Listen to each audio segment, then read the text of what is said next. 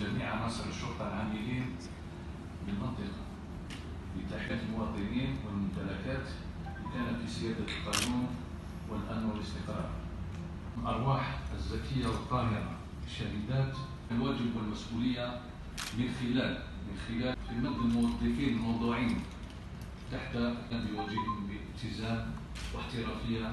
أيضا على مد جسور الشراكة والتعاون والتنسيق مع مختلف الأسئلة. بروح الفريق الواحد لتمكين لشرف لي وإنني كل شكر كل شكر امتنان للثقة التي وضعتها السلطات العليا للبلاد فيه وقيادة المدير العام للأمن الوطني في شخصي وهي أيضا تكليف للسهر على أمن الوطن وسلامة المواطنين وممتلكاتهم.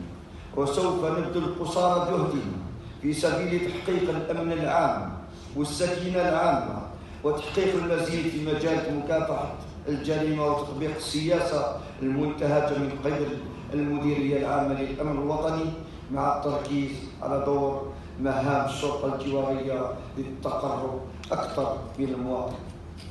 كما لا يسعني إلا أن أتمنى لزميلي السيد عميد أول للشرطة أبو مصباح المال كل التوفيق في مشواره المهني وفقه الله في اداء المهام.